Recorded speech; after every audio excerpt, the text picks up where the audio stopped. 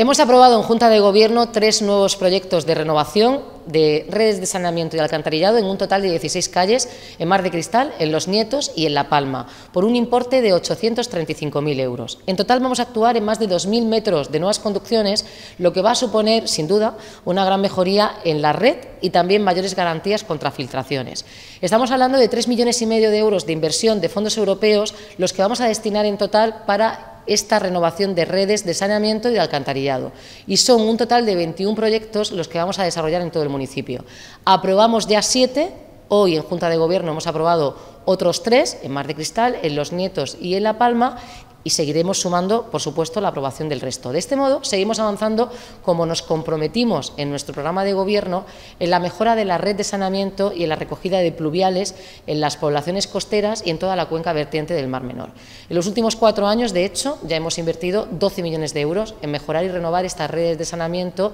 y el bombeo de agua residual, lo que supone una mejora muy notable, pues Contamos ya con mil kilómetros de conducciones de saneamiento y pluviales que continuaremos eh, renovando y mejorando cada año. Nuestra apuesta por captar fondos europeos a través de la unidad de fondos europeos que creamos hace cuatro años sigue dando buenos resultados y ya son 33 millones y medio de euros los que hemos conseguido de Europa para desarrollar estos proyectos de movilidad, sostenibilidad turística, medio ambiente, educación o infraestructuras, incluyendo también estos tres millones y medio que vamos a destinar a los 21 proyectos en todo el municipio.